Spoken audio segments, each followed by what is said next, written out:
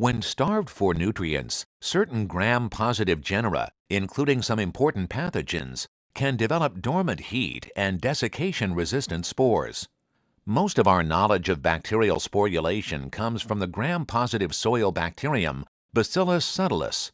When growing in rich media, this microbe undergoes normal vegetative growth. B. subtilis can replicate every 30 to 60 minutes. In contrast, starvation initiates sporulation, an elaborate eight-hour genetic program that ultimately yields a spore.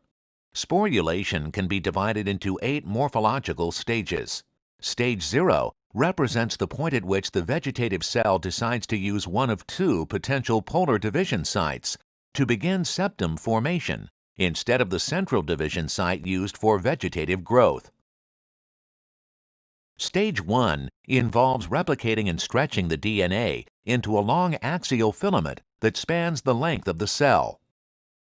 Ultimately, one of the polar division sites wins out, and in stage 2, septation occurs, dividing the cell into two unequal compartments.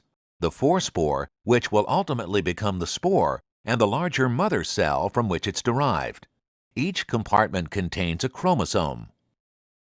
In stage 3 of sporulation, the mother cell membrane engulfs the forespore, resulting in a structure encircled by two membranes. In stage 4, the mother cell chromosome is destroyed and a cortex, made up of a thick peptidoglycan layer, is placed between the two membranes surrounding the forespore protoplast. This cortex will be important in providing heat resistance and maintaining dormancy to the spore. In stage 5, layers of coat proteins are deposited on the outer membrane. Stage 6 completes the development of spore resistance to heat and chemical insults. This last stage includes the synthesis of dipicolinic acid in the mother cell and its uptake into the core of the spore. Dipicolinic acid is important in maintaining dormancy and in promoting spore dehydration, a characteristic that makes the spore heat resistant.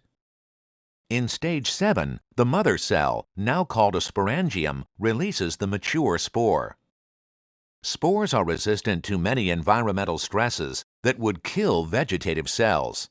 The nature of this resistance is due in part to a spores having only 10 to 30 percent of a vegetative cell's water content.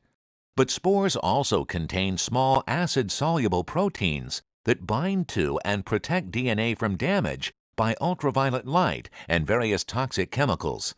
Fully mature spores can exist in soil for at least 50 to 100 years and have been known to last thousands of years.